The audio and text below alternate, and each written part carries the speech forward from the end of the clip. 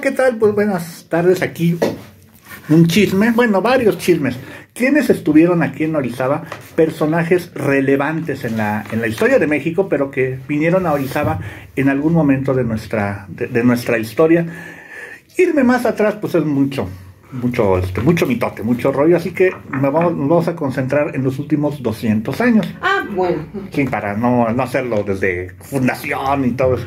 El, bueno, el primero vamos a mencionar a este José María Morelos y Pavón, como ustedes sabrán, bueno, pues él estuvo en octubre de 1812, vino, tomó Orizaba, hizo una batalla, aquí la tomó, destruyó el estanco del tabaco para afectar la economía virreinal y él se alojó en la casa que ahorita es el edificio de la CROM, era la casa de eh, Benito Rocha, un, un este, que apoyaba a la insurgencia.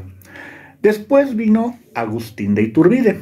Agustín de Iturbide, bueno, pues sabrán también, estuvo alojado en lo que es eh, la casona del Club Moctezuma, hay una placa alusiva a ello, días 22, 23, 25 y 26 de agosto. El único día que no estuvo fue cuando firmó los tratados de Córdoba, el 24 de agosto de 1821. Y Juan de O'Donoghue, sí. que también vino desde Córdoba ya después de firmar los, los tratados. Y se alojó también en la misma casa donde estuvo José María Morelos, en, en, el edificio Crom. Bueno, pues ahorita vamos a hablar de eso y mucho más. Quiero mandar un saludo a Mati Castro, Datos. Seguimos con los personajes ilustres de Orizaba ya para cerrar. Sí. Eh, bueno, mencionamos a Morelos, a Iturbide, a Odonojú y bueno, nos falta Benito Juárez, el más importante, que estuvo en 1861 en la casona que se encuentra en la calle de Colón y Norte 4, frente a la iglesia del Calvario. Los otros, bueno, ya sabemos, vinieron Maximiliano y Carlota, vinieron varias veces y las tres ocasiones 1864, 1865 y 1866 estuvieron en la ex hacienda, bueno, en la hacienda de Jalapilla, que era de la familia Bringas.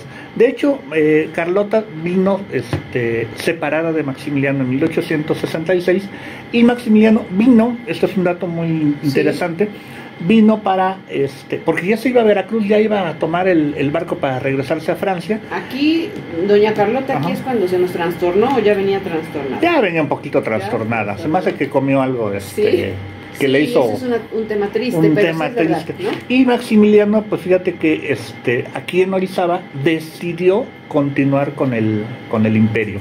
Y bueno, ya para, para cerrar, también estuvieron Sebastián Lerdo de Tejada en 1873 en la casona que está en Poniente 7 y Sur 2 y finalmente Francisco y Madero vino en campaña dos ocasiones y se alojó en la calle, en la casa que está en Colón y Madero, que era propiedad de Manuel Carrillo Iturriaga. Perfecto, son los personajes de hoy.